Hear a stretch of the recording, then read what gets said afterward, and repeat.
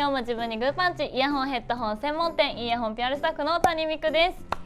はい。9月7日でイヤホンは14周年を迎えます。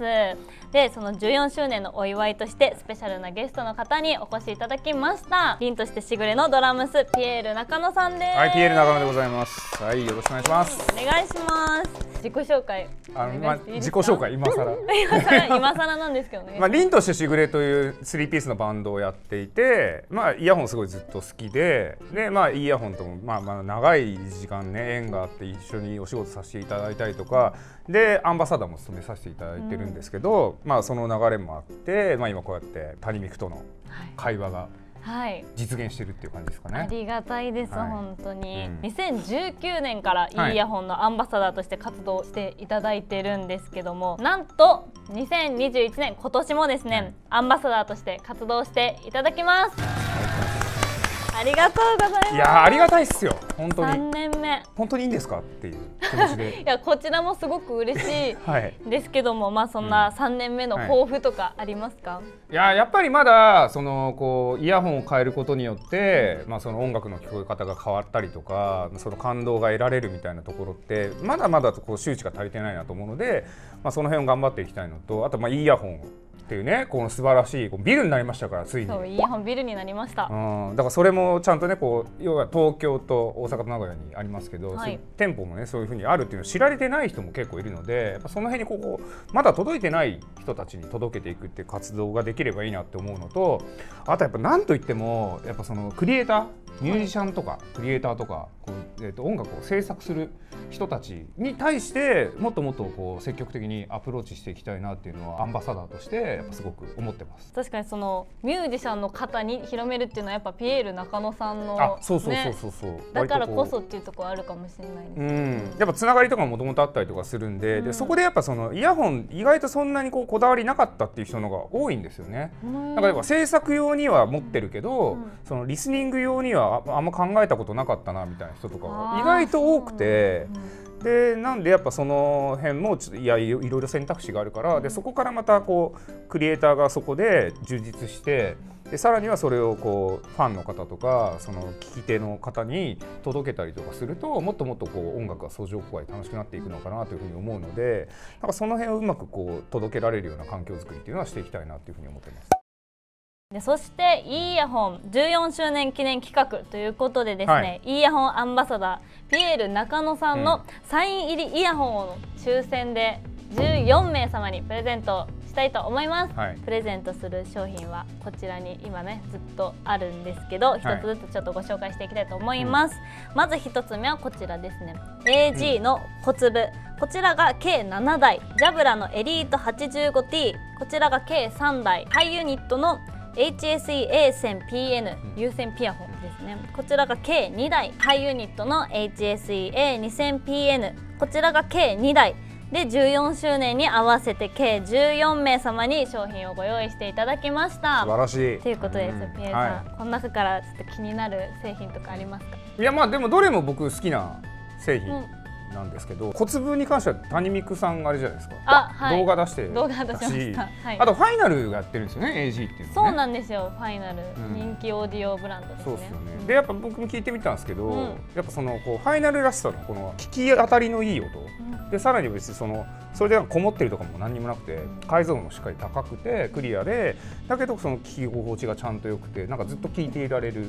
イヤホンだなっていうとで思ってたよりローがすごい出てくる。もちろんそのね見た目の可愛らしさとかそのデザインの良さとか色もねすごく良くてで触り心地も良かったりとか所有欲もちゃんと満たされるじゃないですか。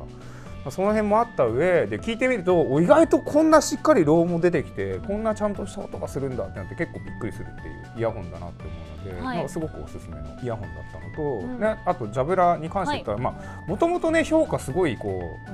ういわゆるこうクロートの方々からそうですね。マニアの方めちゃめちゃ高い機種で、うん、まあ、僕も好きであと、うん、谷が前におすすめしてくれた機種もありましたけど、はい、やっぱそれもすごく、ね、そう、うん、やっぱ低音にすごく特徴が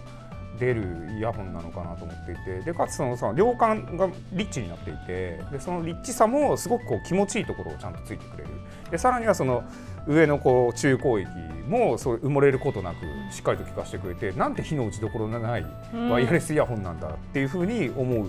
機種でしたね。しかもマイクの性能もすごく評判いいですもんね、はい、そうなんですよ。通話性能にもね結構期待できる。なんかやっぱそのね、一時一時期ねクラブハウスとか、スペースとか、あのその音声のこの通話能力がどれぐらいいいかっていうのを競い合うみたいなやつがあったんですよ。やっぱジャブラ結構こう圧勝してて。それも生々しく出るじゃないですかそうですね。どれがどれが聞こえやすいっていうのをみんなこう聞いてる状態でやったテストの中でやっぱジャブラはすごく優秀だったんで持ってていい時代だなと思うのですごい安心しておすすめできる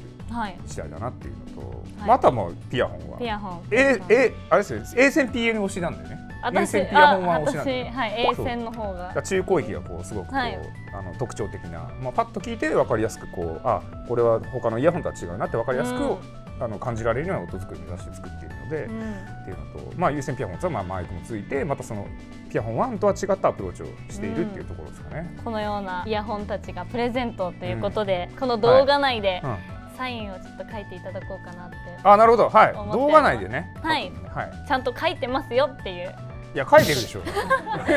そんな疑う人はあんまりいないんじゃない？ピアホン自販機ってイヤホンにありますけど。ああるね、はい、ありがたいよねあれ。だってオープンと同時に。あありがと。うあれでしょ？あれはどういう経緯で？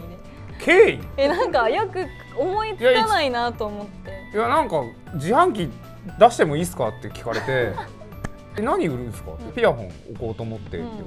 れて「いいですよ」って言って軽い気持ちで許可を出したっていう。へえ話題にもなったのでその SNS とかあそうそうちゃんとバズってくれて、うん、であのお客様から、まあこれやみたいな感じであそうそうそうそう。そうちょっとした名物感がちゃんとね、う。ん、ぜひあの皆さん見に来てください。というわけでそういう感じですね。ピエール中野さんにサインをいただきました、はい、ありがとうございます。応募方法ですね、はい、イヤホンの14周年特別ページより発送に必要な情報とキーワードをご入力の上ご応募ください。プレゼントの応募に必要なキーワードを発表していただきたいと思います。はい、いいイヤホン。14周年です。です、はい、こちらをね書いて、はい、はい、イヤホン14周年を書いて、うん、ぜひご応募してください、はい、14, 14名の方にこちらサイン入りイヤホンが当たります。ということでピエール中野さん、はい、ありがとうございました。ありがとうございました最後に一言お願いいたします。パニックは相変わらず緊張してるな。ガチガチです。大人がいっぱい見てるんですよ。本当に。いやでもすごくねあのよくしていただいて、イヤホンさんには本当にありがたいです。できる限り以上のこう恩返しというか精一杯こうイヤホン盛り上げるために。なんかどんな活動ができるかなっていうのはやっぱ日々考えながら動いていきたいなというふうに思っていますので、まあ、この間もね実は買い物しに来たんです面白いねやっぱね。あのそのいわゆるこう、一ユーザーとして来たから、あの時何も言わないで,、